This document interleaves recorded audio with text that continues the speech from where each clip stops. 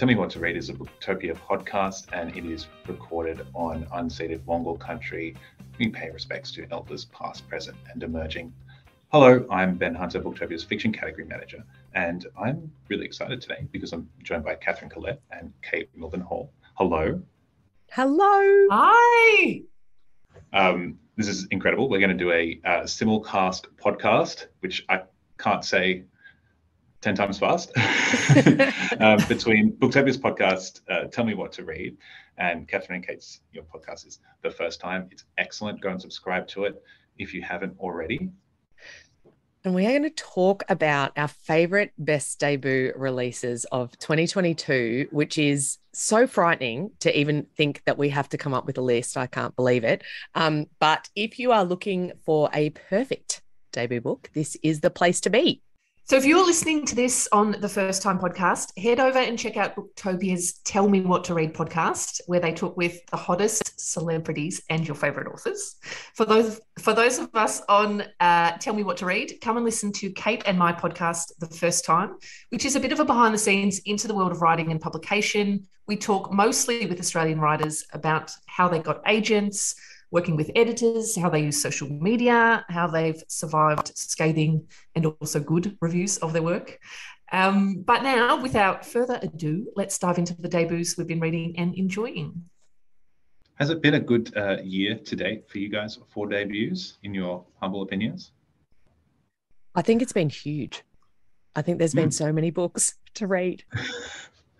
I think I completely agree. Been massive, and I just think there's something so special about a debut book.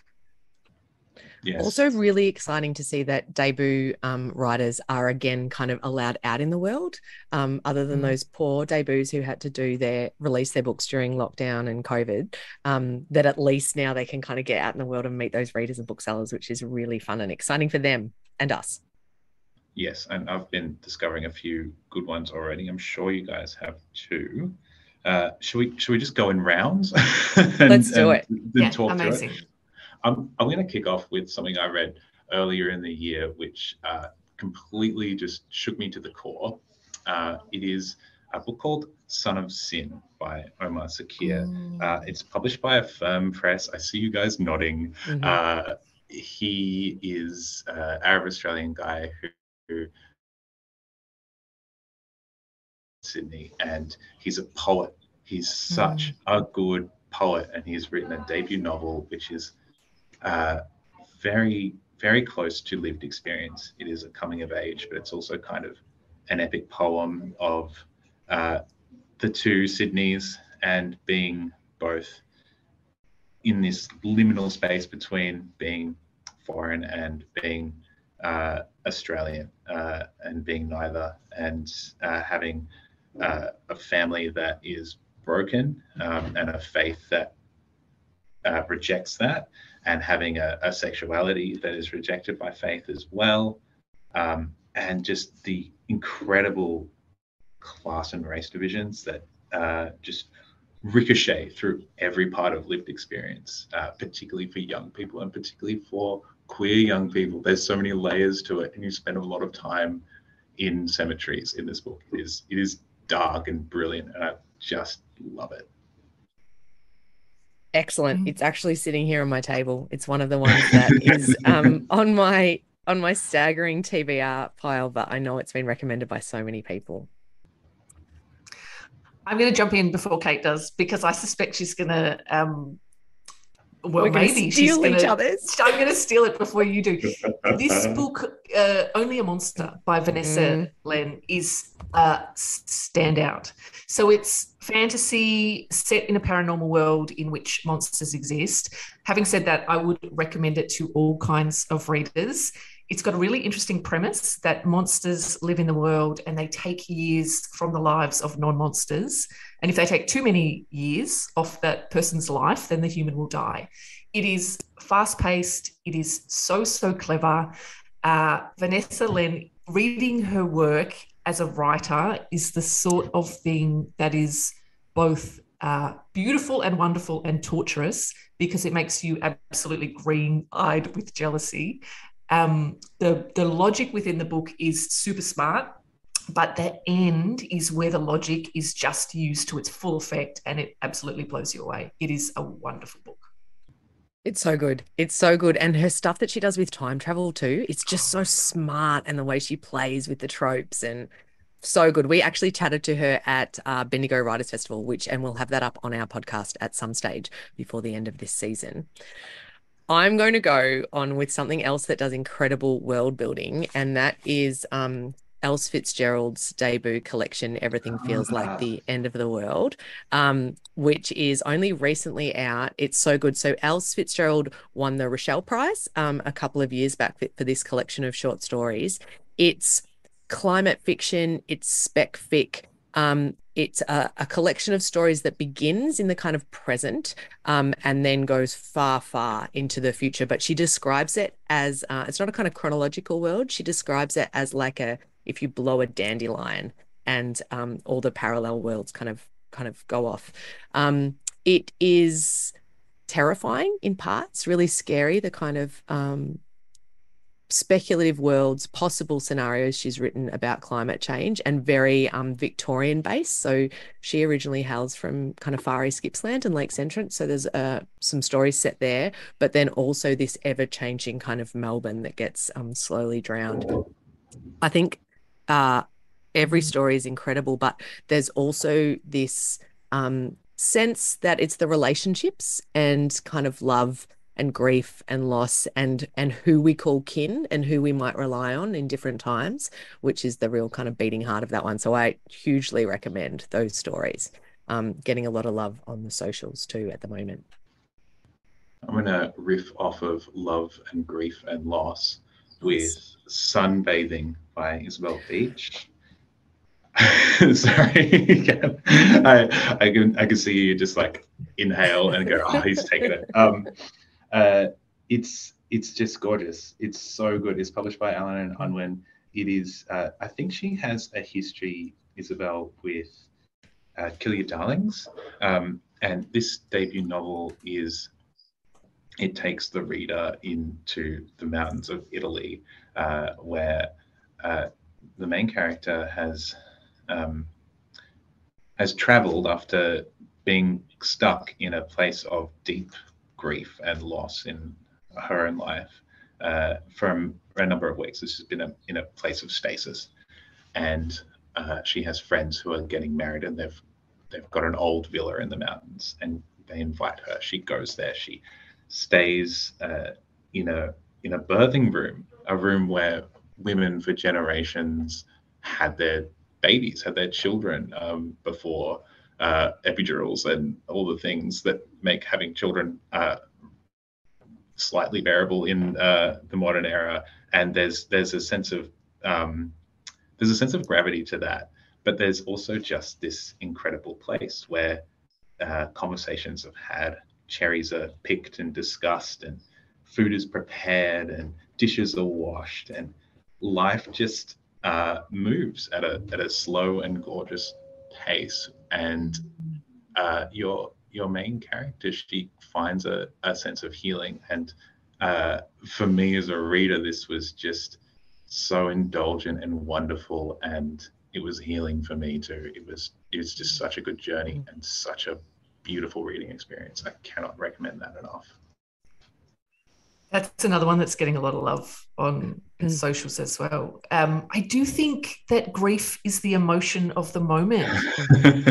like I think it it started with Fleabag, and I think the past couple of years, grief has has really been present. I kind of think it has something to do with climate change and that particular emotion being in the ether. Um, but my next example is also grief based. It's Natasha Sholl's Found Wanting, mm. which is guess, uh, literary autofiction or memoir. It um, the story or the the kind of the premise is that Natasha's partner Rob died. I think she was 24 at the time, he was 27, and so it explores the aftermath of that. It's a heavy topic. Um, it is about grief, but I think what's really interesting about her as a writer is she clearly has a sense of humor. And so, amid sort of the darkness, there is light and there is funny moments and it is hopeful. And so while it's a story about grief, it's very much about life as well. Um, and I think she's a writer that has a real Sarah Krasnostein vibe to her. Mm. I don't really know how, but she definitely does. And I'm so excited to see what she writes next. Mm. Um, someone who I am very excited to see what they do next is Rhett Davis and his mm-hmm. debut Hovering, which I think won the 2020 VPLA. Um, so this was out quite early this year with Hachette. Uh, it is the story really of a town or a city that begins to move in the night. Uh, so people wake up in the morning and streets have changed directions, or shopping malls are in different places, or potentially even their house is on a different street. So it's this kind of uh, dystopic world. Uh, it's a lot about what it means to be in the online world. Um, it's also about art and about activism. And Rhett Davis is just such a kind of electrifying writer. The, the form of the novel itself is really experimental. So there's sections of it that are in tables, um, kind of very much the vibe of Jennifer Egan's new The Candy House in terms of the mm, layout and and the kind of way that he has really pushed I suppose what the vessel of the novel is, he's pushed it to the extremes, but I really loved hovering like it did things to my brain good things to my brain um and yeah really excited to see what what Rhett Davis does next as well I'm going to have a quick shout out to one that I just read in the space of a day. Um, and it's it's not the perfect novel, but it, it really it did the job, and it's uh, it's quite simple and clever. It is um, it is called Ruth and Pen, and it's from an Irish author, Emilie Pine. Uh, and it's set in Dublin over the space of a day uh, in, I think, 2018.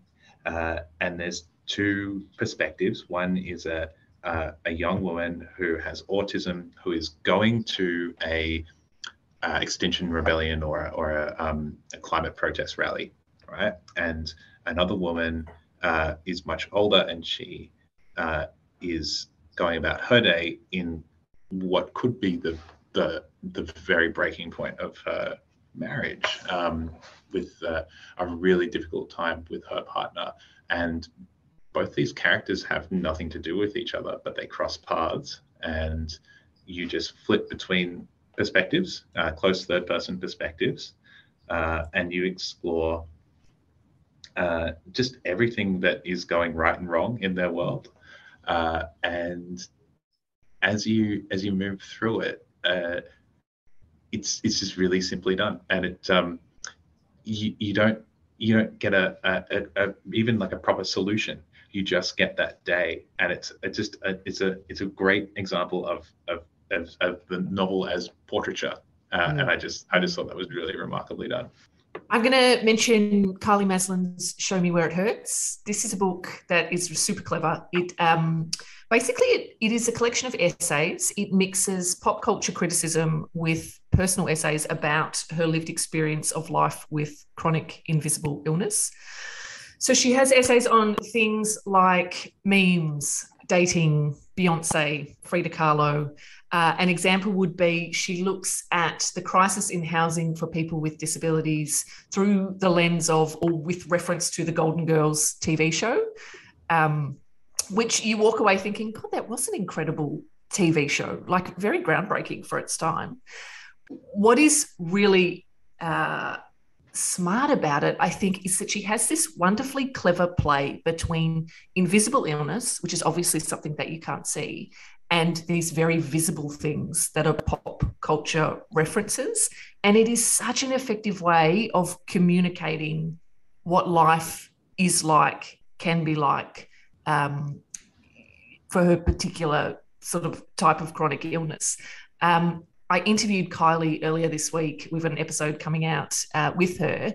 She said she wrote it for people, for other people like herself who experience chronic illness. But I felt like it was a book that was written for me who has no experience of that. So I think it's one that um, is very accessible and easy to read, but also shifts the way that you look at stuff. I will never look at memes the same way mm. having read this book. So highly, highly recommend.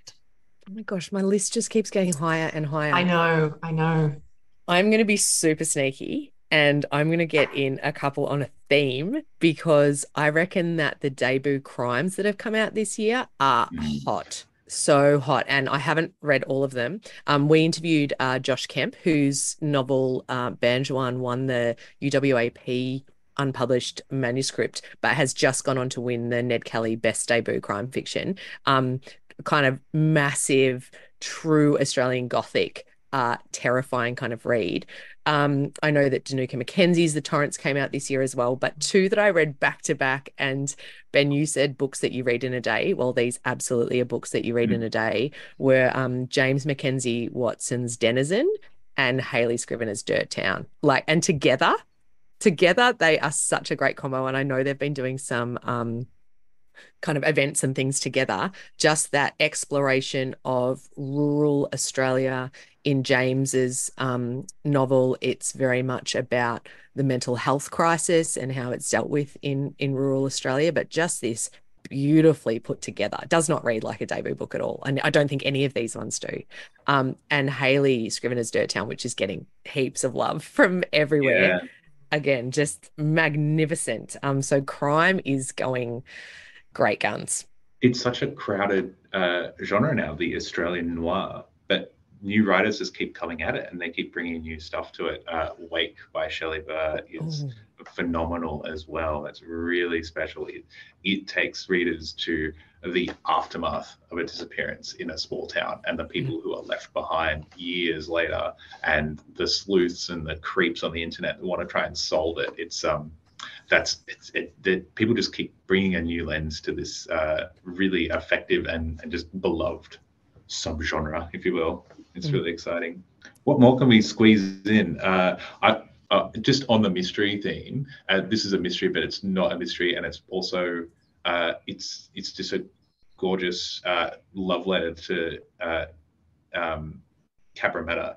Uh, all that's left unsaid, Tracey Lien. It's also like being published internationally, and it's a huge deal. Um, and uh, she's in vogue. She's everywhere. So I, am very excited. That is just come out, uh, and I'm, I'm, I'm, I'm, it's one of my ones to keep my eyes on for the rest of the year for being a bestseller. I was going to mention too that uh, when this year on the First Time podcast, we have interviewed what we regarded as our kind of masters of uh, Australian literature and international literature, our wish list, really, Katherine and I.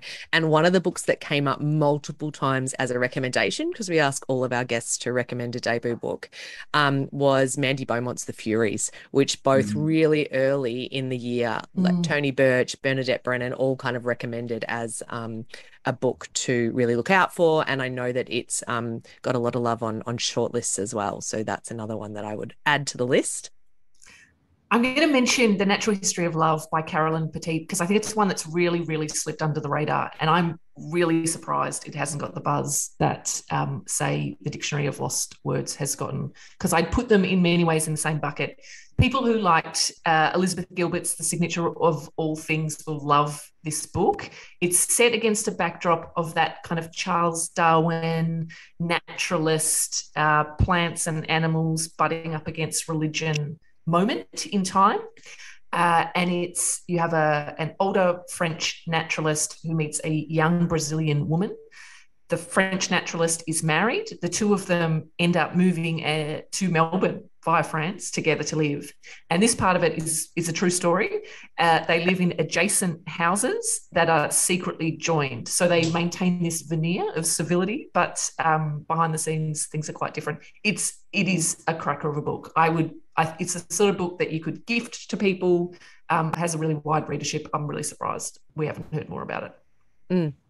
It is hard, isn't it, with the with the debuts because it's it is a really seems like a really crowded market and there's only just enough space. And even as we're all describing there's so many books that came out this year that I haven't even got to read yet um, that I really really want to read as well. Um so there's certainly in short story two collections that mm. I'm desperate to and I've got I've got one of them here. Um one of them is uh Siang Lu's The Whitewash um which is oh, UQP yeah. it's just out so I haven't had a chance to to read this yet. Um but uh, it's satire. It's looking, it, he seems to be a pretty funny guy. And I have just this morning, he's released as well a website Um, it's called the Beige Index, and it's a um, like a Bechdel test for race. Uh, so it's exploring oh, ethnic wow. representation in the IMDb top 200 films over time, and they've come up with um, these algorithms to work out how many um, people, non-white people, are represented in and in the credits, like actually credited as actors or on somehow um, on the production set. And it's extraordinary. I've already got lost in it this morning. Uh, it's funny and smart and also just kind of terrifying as well as you can imagine. So that is one. Um, Siang Lu's The Whitewash is one. And also the other one is Every Version of You, Grace Chan's short stories as well, which you know, one of the things that I look out for is people saying, um, this is a really new voice, or this is exciting, or this is something I haven't seen before. And lots of people have been describing Grace Chan's um, collection of short stories as in exactly that vein. So, um, dystopia um, just sounds really exciting and really interesting. And I'm looking forward to reading that too. I think we could we could go on all day. We could, but we, we we totally should wrap up. Thank you so much for uh, letting me join you today. This this has been really special for me, and I um, it's given me a, a kick up the bum to to go read more of these because there's there's there's just so many good books to discover. Uh, what are you guys going to be reading next? One of the other ones that I am looking forward to is um, this Lystra Rose. Uh, this is YA um, The Upwelling, which uh, Lystra Rose is a First Nations writer. This is her debut. She won the Black and White uh, Fellowship, which I know is another place that I look to um, for what I want to read next. And um, this is fantasy. Uh, she, Lystra Rose is also like a massive surfer, and I think she's the first editor in chief of Surfing Life magazine. Um, first uh, female, sorry, editor in chief of Surfing Life magazine. Um, so I'm super excited about that. I sometimes share the new books that come in with my um, eldest daughter, and so we mm. have both got this on, on our list to read as well. I love that. My next to be read is Gemini Falls by Sean Wilson, which is getting a lot of buzz. Um, it's uh, set in the Depression era. It's crime based. I don't know a lot about it, but um, I keep hearing people mention it. So that's my. I've just read it. Uh, thank you oh, so much. Oh, is it good?